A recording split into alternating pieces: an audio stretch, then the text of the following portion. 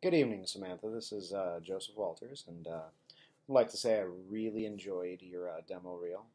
Um, some really good cinematography in there. You uh, lighting was appropriate.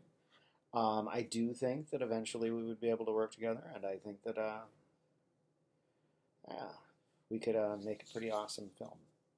Um, as for any current projects or anything I'm working on, I'm probably um, I think judging on your demo reel, the tone and style isn't exactly what I would be looking for right now, but uh, who knows, maybe.